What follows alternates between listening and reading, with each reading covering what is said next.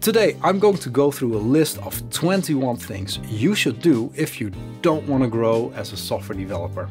I've really been looking forward to doing this video, by the way. These things are all based on my experience, things that I've seen other developers do in the past. I was inspired to do this by watching one of the videos of Alex Hormozi who does videos about developing businesses, so that's really interesting. But I thought it would be nice to do one about software development. Now, make sure you watch this video until the end, because at the end of this video, I'm going to blast through the opposite of these 21 things really fast. So basically the things you should do if you want to grow as a software developer. Before I start, I have something for you. It's a free workshop that helps you diagnose issues in code much faster. You can get access at arjan.codes slash diagnosis. In the workshop, I describe a three-part framework that you can use to more quickly analyze code. And as an example, I go through some existing code bases that are being used in production. You might even use some of these libraries yourself. So arjan.codes slash diagnosis, I've also put the link in the description of this video. Now, let's go through 21 things that you should do if you don't want to grow as a software developer. The first one is to stick to one technology and refuse to use anything else. If you know about Django, refuse to use anything else but Django. If you only use React, just use React and refuse to look any other technologies. If you don't want to grow as a developer, stick to one technology and close your ears and your eyes to anything else that's out there. Second thing you should do if you don't want to grow is to focus on making your code work, but not on actually understanding what your code is doing. So just, you know, shift some lines of code around, try some different values of parameters until you get something that seems to work.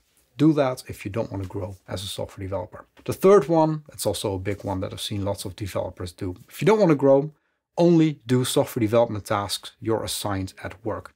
Don't take any extra projects on at home. Just do your job and when you finish at 5 p.m., go home and forget all about it. Do that if you don't want to grow as a software developer. Next thing, don't read any books if you don't want to grow. In particular, don't read books about software design and software development. Why would you read books? You know how to do your job, right? If you don't want to grow, don't read anything. Just stick to what you already know and keep doing the same thing over and over again. Another thing you should do if you don't want to grow as a developer is don't listen to feedback from other developers. Assume that you know exactly how to solve best a problem and that other people are not going to give you any helpful advice whatsoever. Don't listen to them. Next, if you don't want to grow as a developer, don't ever review code from other developers. Only focus on your own code. You don't want to take a look at that other developer's code because it's not relevant to you. Don't look at it. Just focus on your own code if you don't want to grow as a software developer. The next thing you should do if you don't want to grow is that if you do review code by other developers, the goal is to show how smart you are. So make sure those code reviews are negative, played on the person and really focus on showing how well you know the domain and that you could do a much better job than that other developer whose code you're reviewing. Next thing to do if you don't want to grow as a software developer, don't write any tests. You know, once you've written the code and you checked that the happy path works, throw everything over the fence. That's for the QA department to solve. That's not for you as a developer. Don't do those things if you don't want to grow as a software developer. Next point, and this is also a big one that I've seen quite a lot. Don't spend any time refactoring or improving the design of your code. As soon as you've written a script that works, that seems to solve the problem, consider your work done. Don't look again at the code. Don't try to think about ways to improve things or restructure things so that there is to change later on. No, don't spend any time. Just make the script work and you're done. The next thing, if you don't want to grow as a software developer, is to don't spend any time learning the ins and outs of your code editor. Just open it up, use the basics, don't look at the settings, don't learn any keyboard shortcuts by heart, don't spend any time on it, just use the code editor as is. By the way, if you're enjoying the video so far, give it a like. It's going to help others on YouTube find this content as well. All right, the next thing you should do if you don't want to grow as a software developer, and that's to not spend time learning more about the features of the programming language that you're using. Just use the basics, Don't learn faster ways to code. You don't need that if you don't want to grow. Just keep it to the basics. Next thing, if you don't want to grow, always assume that if something works on your machine, it works everywhere because you have the most generic machine in the world that is a perfect representation of any other machine, including the machines of your customers. So if it works on your machine, it works everywhere. You don't have to test it anymore. If you don't want to grow as a software developer, that's what you should assume. Another assumption you should make if you don't want to grow is that if someone is not a software developer, that they're stupid and they're not going to give you any useful advice. Only listen to what other software developers are saying. If somebody is not a software developer, you shouldn't take them seriously. Another thing to do if you don't want to grow as a software developer is to always stay within your lane. If you're a backend engineer, never do any front-end engineering and vice versa. Just keep to your own thing that you know about and do only that thing. I mean, as a backend engineer, you don't need to know anything about frontend, right? And as a frontend, you really don't need to know anything about backend because those are two separate things. If you don't want to grow as a software developer, stay within your lane. Next thing, if you don't want to grow as a software developer, don't try to improve the way you communicate with others, especially when you're talking with people who are not developers. You don't have to explain what you're doing. You don't have to be able to translate your work into something that other people understand. This is your domain, you're the smart guy, you don't have to worry about that. If you don't want to grow, don't try to communicate with other people. Next, if you don't want to grow as software developer, don't teach other more junior people.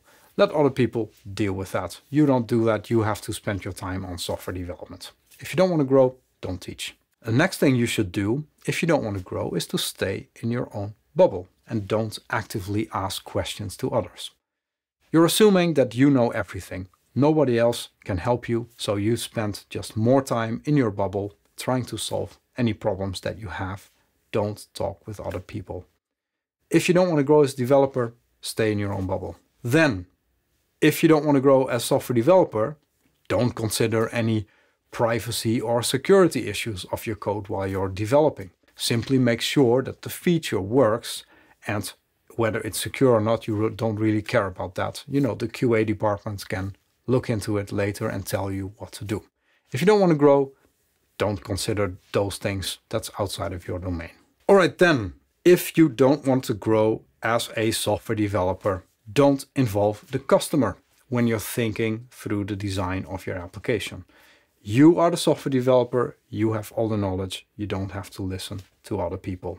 Next, if you don't want to grow as a software developer, don't value your reputation. Your reputation doesn't matter. If it suits your needs, just be unreliable. You know, if you realize that you can just make a bit more money over the back of a customer by not implementing something or by delivering something that's half finished, do it. You're going to have more money. The final thing you should do if you don't want to grow as a software developer is to always optimize for highest salary.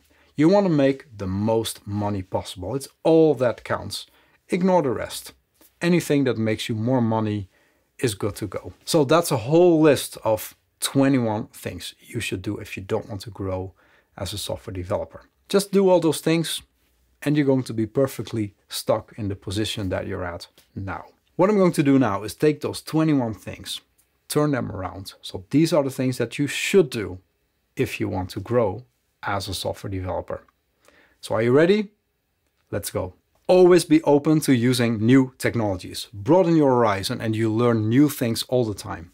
Focus on understanding what your code is actually doing and why it works. It'll be easier to change and maintain. Take on a side project next to your day job. You learn a lot because you have the freedom to use whatever technology you want and there are no deadlines.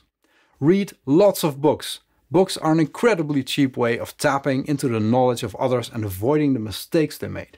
Read books such as Clean Code to improve your software design skills. Always listen to feedback from others. You're not as smart as you think you are. You have a ton of blind spots. If someone points one out to you, it's the best thing ever because you'll be a better person after addressing it. Review code from other developers as often as possible. You'll learn new ways of coding, designing and solving problems.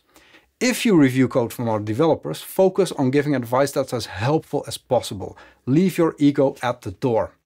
Write tests alongside your code. Don't just test the happy path, but think about how your code could possibly break. Take responsibility for your work and only hand over your code if you think it's ready.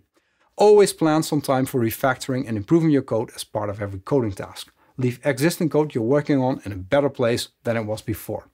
Spend a lot of time becoming comfortable with your editor. Change the settings to improve your workflow. That's what they're for. Learn and then use keyboard shortcuts to, to work faster. Learn the features of the programming language that you use. The more in-depth knowledge you have about them, the more efficient you'll be able to write your code. If something works on your machine, that's not a guarantee that it works everywhere. Test your code in different environments, in particular in an environment that's as close as possible to production. Software developers have a specific, limited view on problems.